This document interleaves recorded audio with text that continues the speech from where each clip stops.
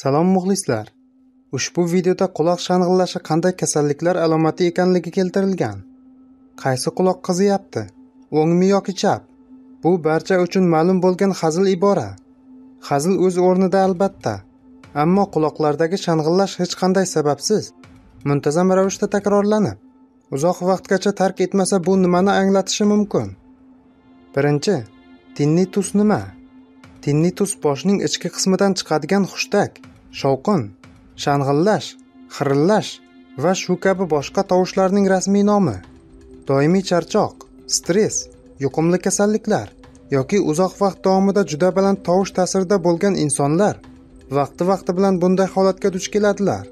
Tinnitus vaqtincha yoki surunkali bo'lishi mumkin. Agar vaqtinchalik bo'lsa, deyarli zararsiz hisoblanadi.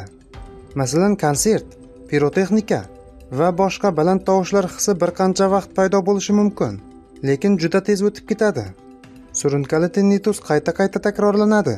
Shuningdek, davomiyligi ham uzoq vaqtni tashkil etib, qo'shimcha alomatlar bilan birgalikda bo'lishi mumkin. Masalan, eshitish qobiliyatining pasayishi yoki umuman yo'qolishi kabilar. Ikkinchi, qaysi hollarda xavfli?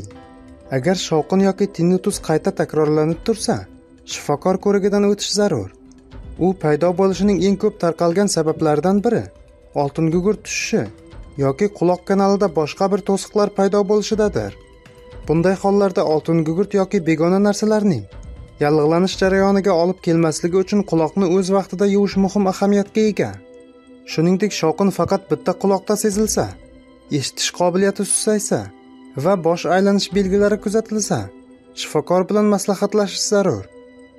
Uchinchi, to'satdan paydo bo'lgan tinnitus yana nimadan ogohlantirishi mumkin? Bunga gipertireoz, anemiya va bosh jarohati sabab bo'lishi mumkin. Quloqni bezovta qiladigan tinnitus ba'zi hollarda quloq va miya orqasidagi asabga ta'sir qiluvchi o'smaning belgisi ham bo'lishi mumkin.